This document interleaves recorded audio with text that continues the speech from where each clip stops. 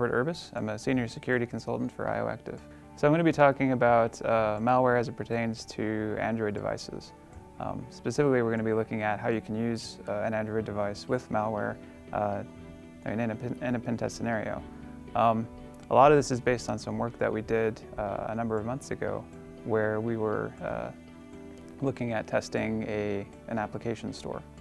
Um, so you end up getting into the question of, okay, there's a particular scenario uh, where you have some unique constraints where the vector is not a traditional uh, vector of, of attack or even uh, getting into a, into a system. So what we ultimately look at is the, the Android applications themselves become the vector and how you manipulate those and how you can, uh, how you can try to get uh, some malicious behavior past some sort of detection engine of, of an application store that's trying to defend itself um, from, or basically defend its users. Um, so we basically came up, uh, developed a framework that allows us to uh, create uh, kind of arbitrary malware from different devices, or for uh, different things that we wanted to test. Yeah, so the reason why this is important is because uh, people are looking at bringing devices, organizations are looking at allowing people to bring their own devices into their organization.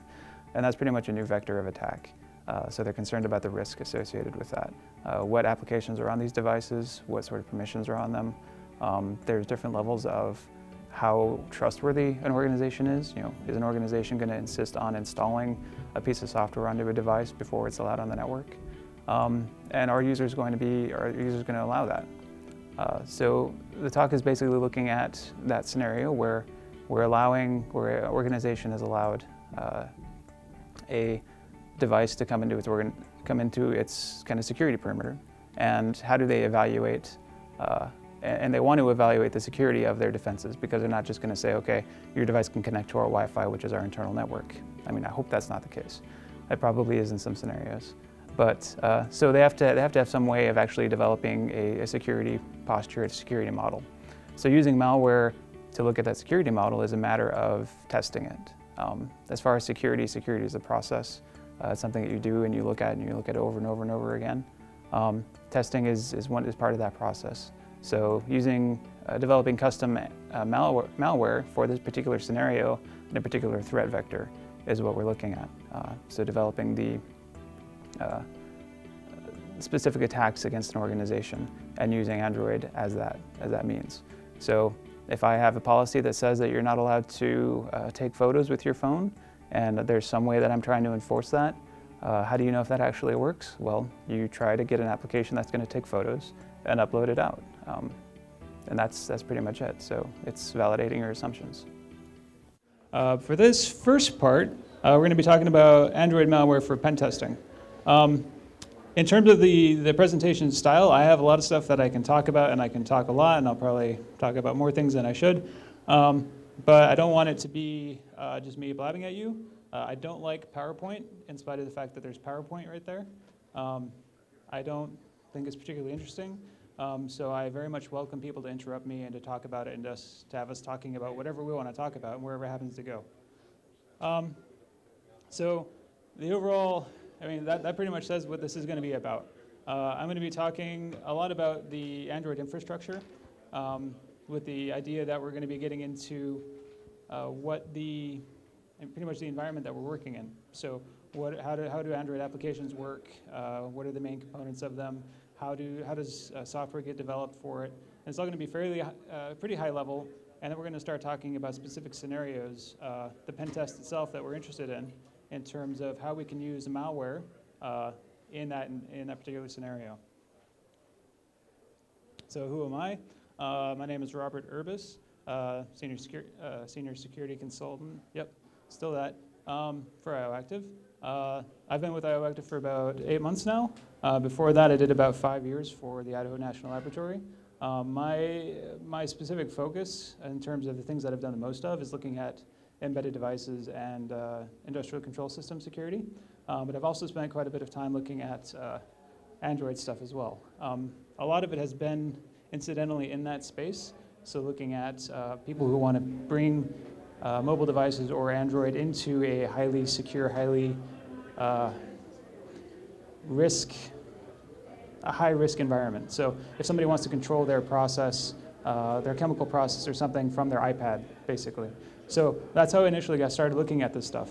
And then uh, once I started with IOActive, it's gotten into, into quite a bit more, uh, which is what we're going to be looking at, kind of discussing today. So I've defined the target audience as a malicious defender. So I think that the absolute best way to test your security or to even know anything about security is to test it. And to be able to test it, you have to have a malicious perspective. Um, I think red teaming and trying to break things and, and, and, and ultimately, uh, that's, that's the only way to know how good you are or how good your security is. Um, you're never going to be 100% secure about everything. Uh, but the best you can possibly hope for, I think, is that you can know where you're not secure or what you don't do right. Um, and then you can basically mitigate those things via other, other vectors. Um, so that's pretty much what we're going to be talking about. Uh, why specifically Android malware? Um, ultimately, having malware is taking that uh, offensive perspective and, and, testing and testing and testing and testing again. Um, and as opposed to specifically custom Android malware is because you don't necessarily, uh, in this particular scenario I'm talking about, uh, which I'll describe in a little bit, um, you, can't, you don't necessarily just trust in the mild malware. Um, so you can get malware that's been defined, that you can find, uh, that's been defined, and that you can find in various uh, places. Um, but if you want to test your own organization, or you want to test a, a client's organization, or you're just curious about it, um, the idea of malware and obfuscation means that unless you really have a good feeling for what that piece of malware is, you don't want to just be throwing it at somebody. Um, you don't want to just be putting it on a network because you don't know what it's going to be doing. Uh, of course, there's ways to figure out what it's going to do, and you can reverse engineer it and, and that sort of stuff. Uh, but that takes time, and sometimes you don't have time. Um, but it's also a lot easier just to say, I know this only contains these things because I built it. So I, I built this malware, I know what it is, I'm going to submit it, and I'm going to use it as part of my pen test, and that's, it's, it's a lot more uh, cut and dry. Um, so doing that leads into a couple of different things, uh, different ways that you can use Android malware. Uh, the one that I'm going to be talking about specifically is a bring your own device scenario. So organizations that pretty much say, uh, we want to allow our employees or users of our system to walk into the uh, environment, our secure environment with their phone, uh, we're going to allow them to use their phone on our networks. We're going to allow it to talk to our email servers. We're going to allow them to do whatever that, you know, whatever it is that, that uh, the user wants to do. Um, so a big part of that is having an idea of what you want to allow it to do. Uh, so just having a device on your network is not really a great idea. I don't know of any organization that uh, cares about security that just allows uh, devices carte blanche on their network. Um, but so you have some sort of policy that says that I'm allowed to do this and I'm allowed to do that. Uh, what, how do you actually test that? So again, security is a matter of, of, process and a matter of testing things. How do you know that your policy uh, not allowing cameras in your environment is actually being enforced? And can you enforce that? And then how do you test that it's actually being enforced? Another interesting one is actually looking at uh, both app stores and uh, malware detection engines. So you want to be able to, to develop custom Android malware for that scenario.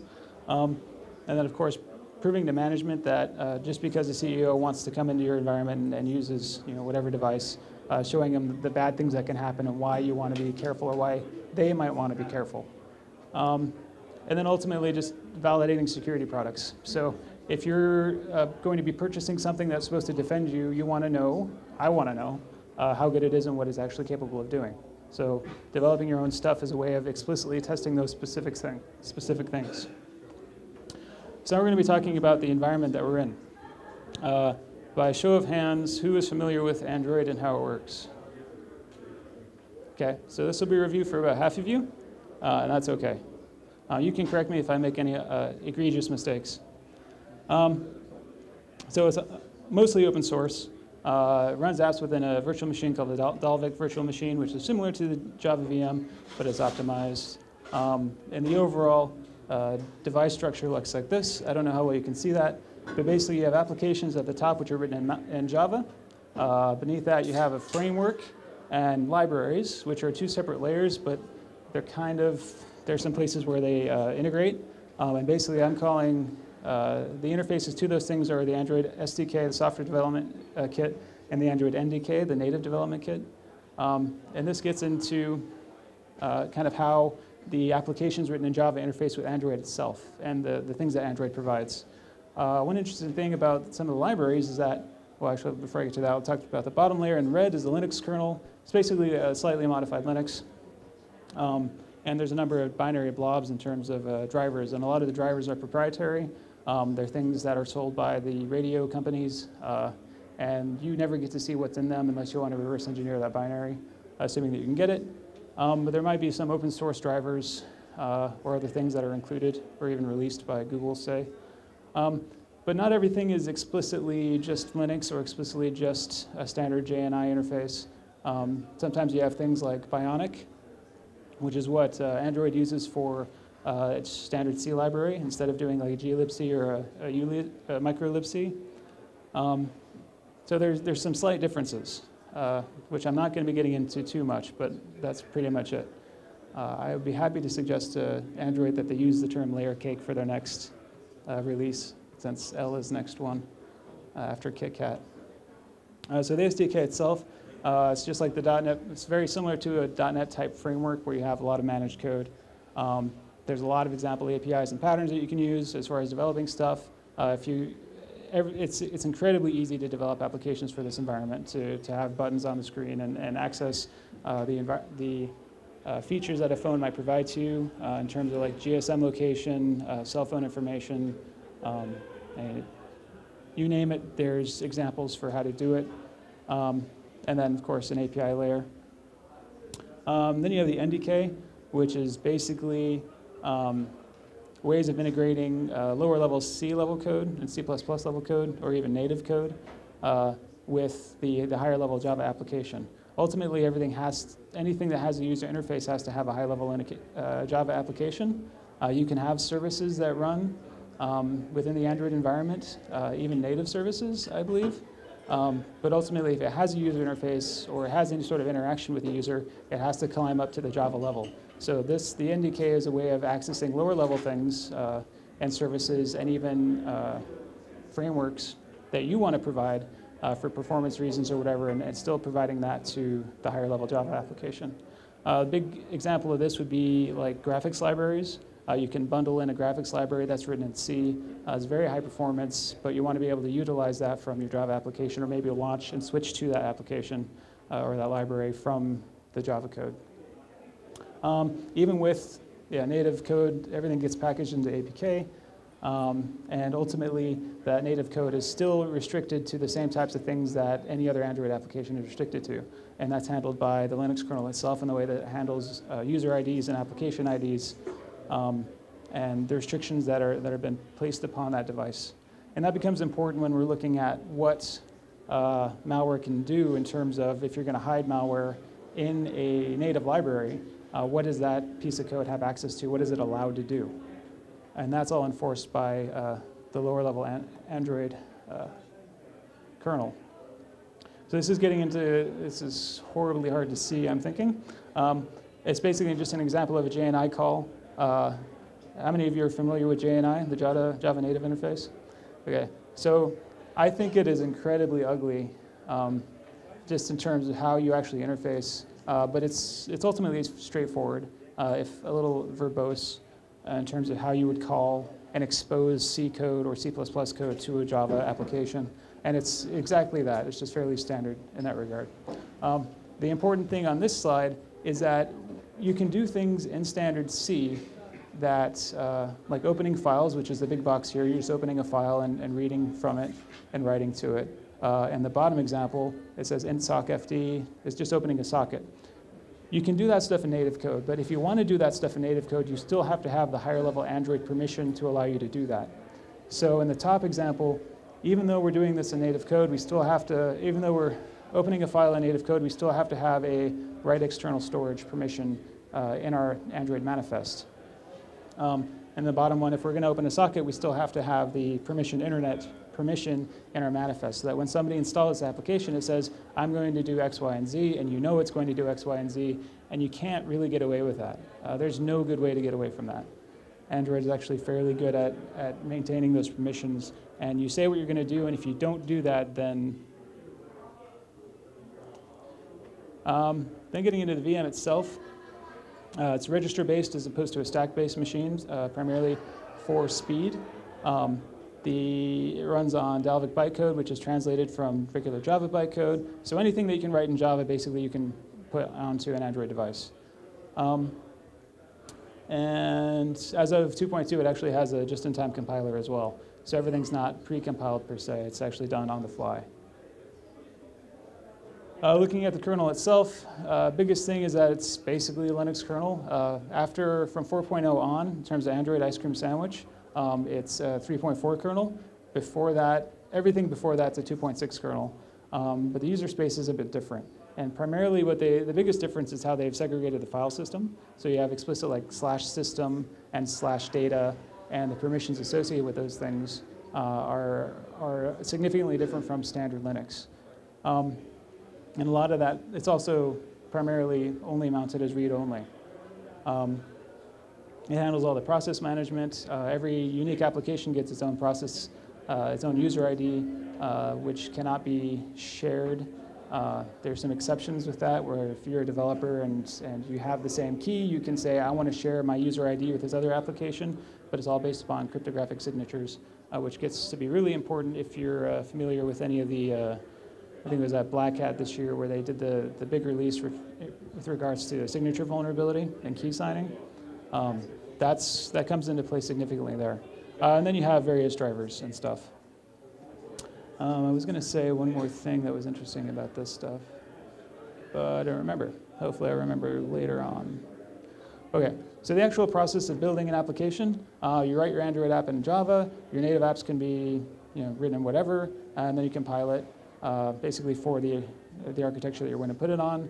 Um, and then generates class files, it gets translated into DEX files, and then that gets all packaged together with various assets into a APK. Um, and then it basically just runs them. So that's pretty much the process. It's really easy to do, lots of tutorials on how to do it. Um, it's, it's, trivial. Um, so if you're going to build something that's not explicitly an app, but is still kind of part of the Android environment, um, you've got device drivers. In terms of installing a device driver, you basically have to have root access to the device itself, uh, which is kind of a given in a bring your own device type test environment. Um, and then, but that's just standard to building any other uh, driver for any other Linux environment. It's exactly the same. There's no gotchas as far as I am aware of. Um, and then you have these things called assets, which is stuff that you want to include in your package, but uh, doesn't necessarily have anything to do with the application itself. And you can pretty much put anything in an asset, absolutely anything. It'd be a picture, um, it could just be you know, a couple of bits. It, it, doesn't really matter. You can just include it in. Um, so as far as what the APK actually contains, uh, you've got an Android manifest file, and this is what indicates to the Android system what permissions you're going to use, uh, information about signatures. Uh, it defines to the Android environment how your application gets called, what its entry points are, uh, things of that nature. Um, but the biggest important part as far as the manifest is concerned is the permissions and the entry points, which we're going to talk about in detail. Um, and then you have the actual classes file, which is just a, uh, a zipped up, you know, basically a Java class file that's been translated into DEX. Um, you have certificate information at the meta INF file. Uh, then you have resources and, and assets. And I've given lots of opportunity for questions, so is there any comments or questions or anything like that so far? Okay. Um, and yeah, that's it. So I'm done with my talk. Uh, just kidding. Um, so we have an idea about the software, uh, but now we got to talk about malware specifically. If you're going to talk about malware, um, I always have trouble talking about malware because uh, I don't think malware is particularly interesting um, personally. I know a lot of people that are interested in malware and interested in doing like virus uh, analysis and, and, and, are very interested in that kind of stuff. And I don't, I don't have that same sort of uh, call, I guess. Uh, so how, why am I interested in, in, it at all? And I think it, it, gets to be a very philosophical question. So when you're looking at, at malware, um, well, what is malware? Well, in some sense, you know it when you see it. It's a very famous Supreme Court case talking about pornography. Well, what is pornography? Well, you know it when you see it, and that's how you define it. So in this case, malware, I think, follows very much under the same sort of categorization. Um, but even beyond that, uh, you, can, you can come up with some sort of definition. So these are examples of different types of things that would be considered malware in a more traditional sense.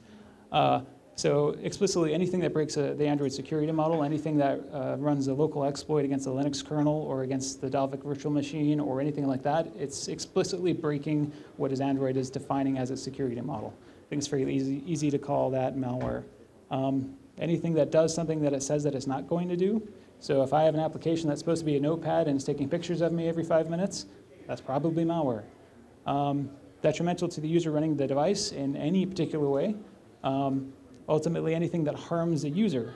Uh, so that could be financial, privacy, um, stealing resources, like for botnets, like doing Bitcoin mining or whatever. I don't know if there's any point to that anymore, but um, I don't know. But then you get examples of things that have been explicitly classified as malware that may or may not be malware. I mean, this, and one example is this piece of malware called not compatible. Um, it's, uh, it is explicitly malware and it does do some bad things, but I think the core of what it does is that it allows uh, internal network access from an external source. So basically you can, it pretty much just creates a little network bridge between whatever Wi-Fi network your, device is connected to and over a GSM network. So it's, it's a backdoor into a network. Uh, in some cases, that is very bad. You don't want that to happen, especially in perhaps a bring your own device environment. But in some cases, it's incredibly handy, and it's exactly what you want. So if I'm a network administrator, I can have my phone, just leave it on my desk, or I forgot, forgot it on my desk, and now I can have a way into my network to do whatever I need to do. Uh, you know, one man's back door is another man's back door in a different sense. Um, but more generically, malware is anything software, script, even hardware uh, that you don't want on your Android device for any reason. Um, and that becomes extremely important as far as the, uh, the bring your own device environment because it's going to be based upon policy. And I don't like policy, but that's what it's based upon.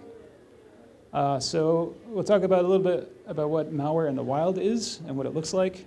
Um, this is from uh, Lookout, uh, and they, they, produ- they I mean, it's kind of their job to be talking about malware because they're selling a, a, thing to protect against malware. So the more information about malware that they provide, the better for them. And I think it's also better for the community. Um, so they have this nice little chart that says uh, probability of encountering at least one threat of a given type in a seven-day period. I don't know what that means uh, in terms of actual anything, but it, we have this nice categorization of different kinds of malware. We have got adware, chargeware, spyware, surveillance stuff, and Trojan.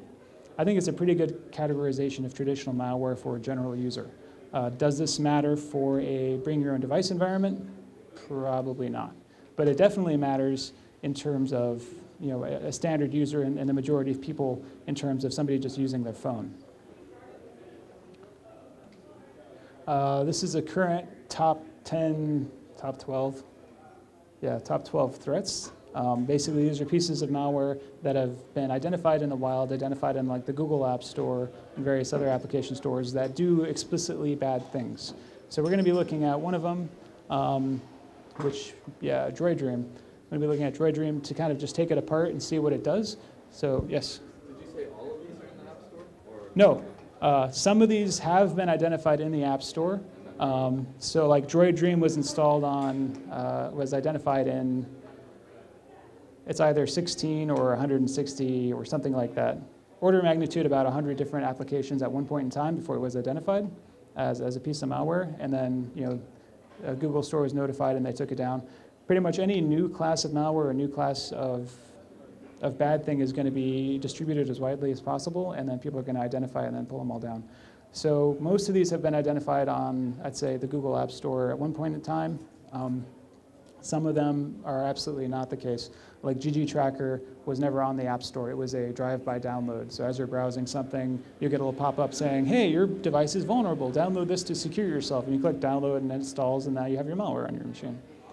Um, uh, but some of these were, were at one point on the, on the App Store, not by these names. These are generic names for the class of malware.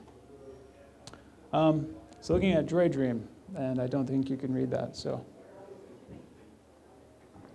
Um, basically, this is a piece of malware that was installed in seemingly legitimate applications, like uh, I think the classic one is a bowling application, a bowling game.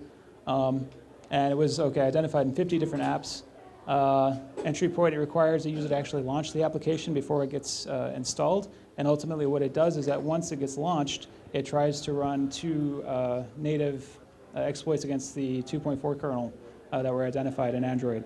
Um, so first, it does this thing called exploit, which is a specific vulnerability um, in the UDEV event handling of the kernel. The other one, if that fails, it tries against raids against the cage, uh, which um, I don't know if was at one point in time a uh, uh, rooting your device like a jailbreak. Um, but ultimately, it's just another vulnerability in the Linux kernel uh, that exploits the privilege, privilege separation between when it has privilege to install itself and, and before it drops back down. Uh, so if it gets that, it basically gets root permissions, and once it has root permissions, it installs a second piece, which it downloads um, and installs into uh, the system app directory, and it does this surreptitiously. So it's able to bypass the uh, installation framework, and the, these are the, the things that I want, these are the permissions that I require and that I'm interested in. Please approve that. It bypasses that whole dialog by doing it via root access to the device and just installing it surreptitiously, and installs it as a service. Um, so that was something that I was had meant to mention earlier is that applications basically come in two forms. You have uh, this, like a user application that gets launched, you interface with, and then it goes away. And then you have like service providers. So it's an application that gets launched at a particular time and just runs in the background, and then defines some handlers that then get called and can be can provide services.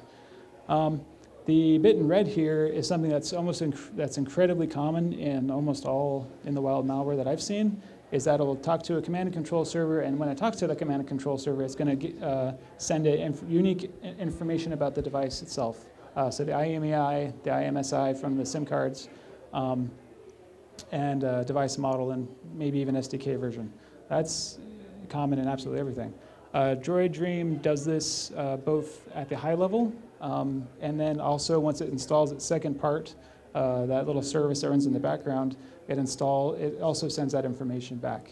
Um, so the particular uh, device uh, sets up listeners for a couple of Android intents, these uh, events that occur, which we're going to talk about in a little bit.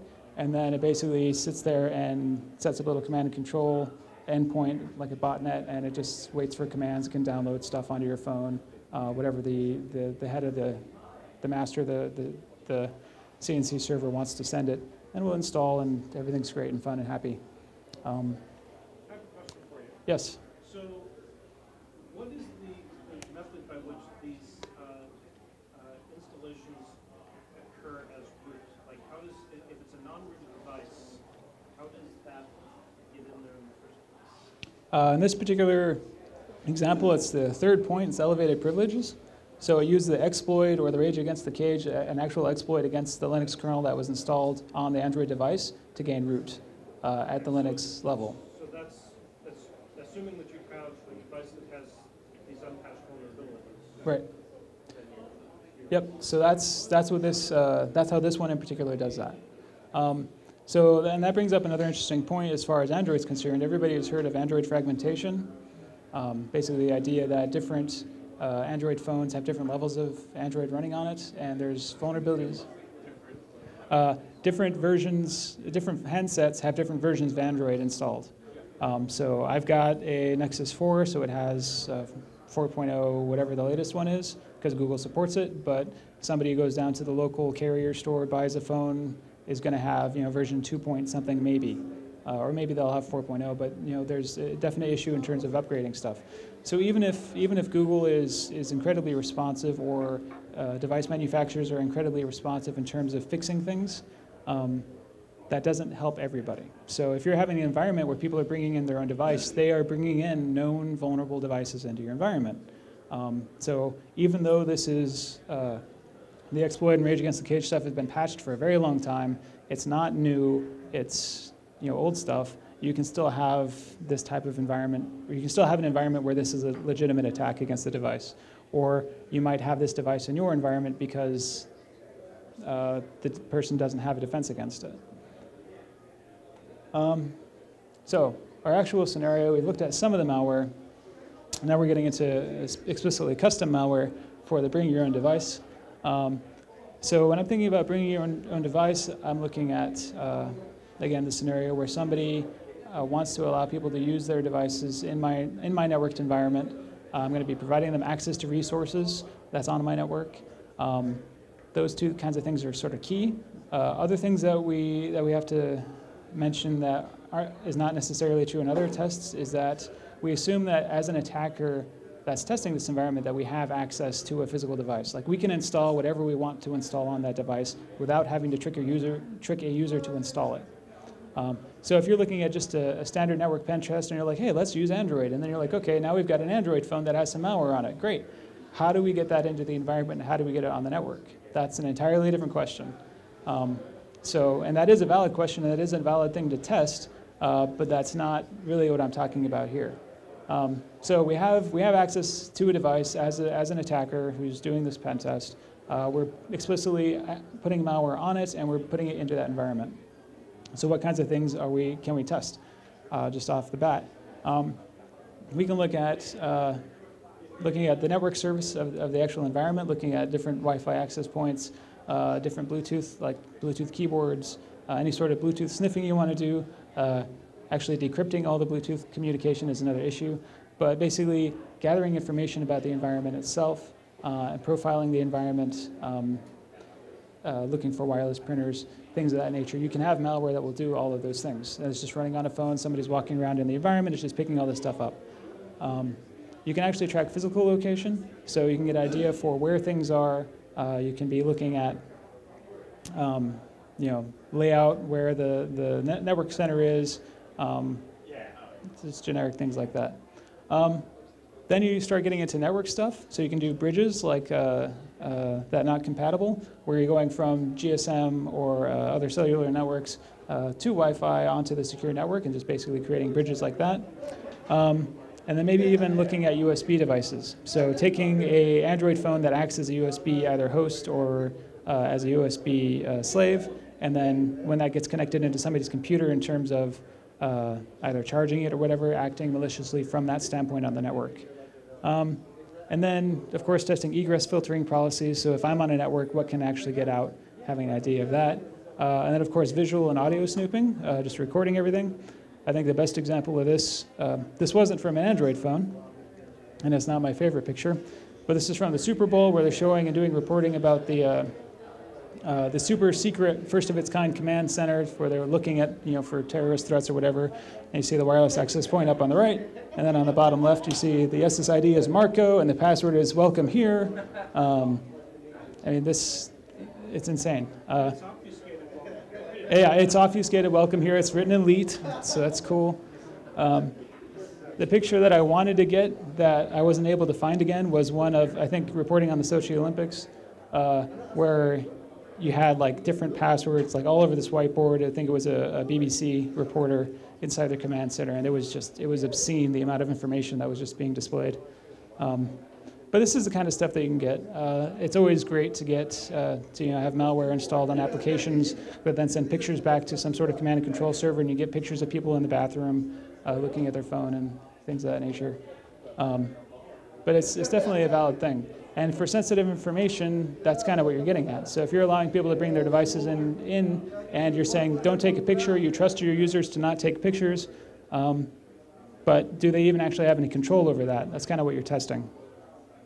Um, so other explicit means of being bad, uh, arbitrary code injection. So let's say that you have an actual detection mechanism. You, you're paying an organization to look at your malware um, or to look at samples or look at phones or look at applications uh, that make some sort of determination is, is this bad? Do we want to allow it on our network? Uh, things of that nature. Um, so these are just different ways of bypassing that that you can test. So if I want to create a or include a library, um, like a native C library into my application that, I, that has a known vulnerability in it, um, and then I, I just happen to be using that known vulnerable library and I have an application and I, I bring it into your environment. You look at it, there's nothing malicious there, but it just so happens to explicitly give me permission or give the application or give somebody attacking the application a way to get root at any point in time. Um, and that's not something that is actually there at time of check. So it's like a time of check, time of use vulnerability. Um, you can write your own application so that there's no known signature for a bad thing. Uh, it's kind of the obfuscated C code type of thing where you're doing something really, really bad, but you're doing it in a way that nobody's ever done before. Uh, there's no signature for it, but you're, you're basically going to allow yourself to be exploited later on. And then, of course, updating mechanisms. I mean, everybody has applications that update themselves. Um, whether or not they go through an official channel to do that, uh, like that, like the uh, Google Play Store or something else, is, a, is another question. And then you also get into inter- interesting things like uh, Angry Birds. Uh, so one of the, I think it was about a month ago, where it was uh, revealed from one of the Snowden documents that NSA is using just application information that developers send information in clear text uh, for their own uses that then they can basically just pick up off the wire and use that as, uh, as a way of gaining information. So hiding, exfiltrating information in the most obvious way possible. Uh, so you have an application that sends photos up to that, a photo sharing application. So is it any surprise that the photo sharing application requires network access or wants to take pictures or anything like that? It's not any surprise at all, but it's still malware if you explicitly don't want that type of thing to happen. Um, and so I think that's particularly interesting. Uh, as far as delivery mechanisms, see how we're doing on time. Okay. Um, basically looking at, we've got a device already in, under our control. Uh, we can do complete customization. Uh, basically, we can do whatever we want to do. Um, we can even take an existing application, uh, either an application that's provided by the environment, like a specific mail application that they want to use, and we can just decompile that and recompile it. And depending on the version of Android that we're using, um, we can even uh, not modify the signature with some of those. Uh, I think it was blue. No, it wasn't Blue Coat. Does anyone remember the company that, that revealed that uh, the Android signing vulnerability? I cannot remember the name of it. Blue Box? Yeah, Blue Box. Yeah, so it's a Blue Box stuff. So it basically found a way to modify an APK without modifying the signature. So you can inject any sort of code you want. And there's a couple of variations on it. A guy by the name of Saurik, um, he identified a couple of different uh, means to modify packages without uh, invalidating the signature. So all APKs are, are, are, are, signed, so you know that this, the contents of it haven't been changed and that it's from a particular trusted source um, or a source that you trust. Uh, and, and, there's ways that you can modify that. And if you're dealing with a version of Android that's older, then you can still exploit those things. So you can take a uh, existing application that you know you're, you're, you provide to your users to access your infrastructure, and then you can modify that and still get inside of it. Um, as far as the actual runtime process, uh, apps basically get have a have a life cycle, which is very well documented on uh, by Google, and these are just different places. Uh, ultimately, every one of these callbacks that get called in your application are places where you can put your malicious behavior. Uh, on the bottom left, you've got the actual creation of your application. Uh, you get into different states of the application. So, like I've been started, uh, I've been resumed, I've been put in the background, um, I've been explicitly stopped, and I've been destroyed. Um, so, you basically define all these, uh, you can define methods for all these different callbacks that will then do whatever you want them to do. Um, so, these are all different points where you can launch your, your malicious behavior. Uh, then you also have the matter of launching either uh, something in the foreground as an application or launching something as a service that's in the background. Um, when you're in the background, you basically be looking at registering uh, broadcast receivers.